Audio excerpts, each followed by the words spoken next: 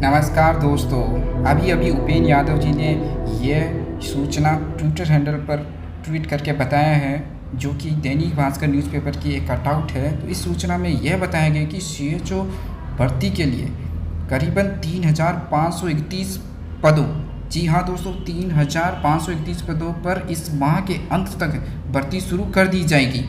यह चिकित्सा विभाग से अभ्यर्थना बोर्ड के पास पहुँच चुकी है। यह पहला मौका होगा जब चयन बोर्ड चयन बोर्ड संविधा आधारित भर्ती करेगा। चयन बोर्ड संविधा आधारित भर्ती करेगा।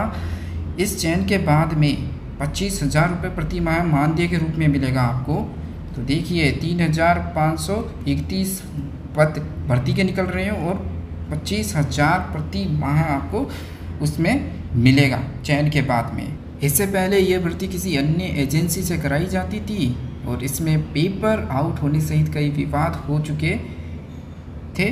तो इस वजह से इस एजेंसी को हटा करके किसी और एजेंसी को ये ज़िम्मेदारी दी गई है। और वो ज़िम्मेदारी किसने ली है? राजस्थान कर्मचारी चयन बोर्ड ने ली है।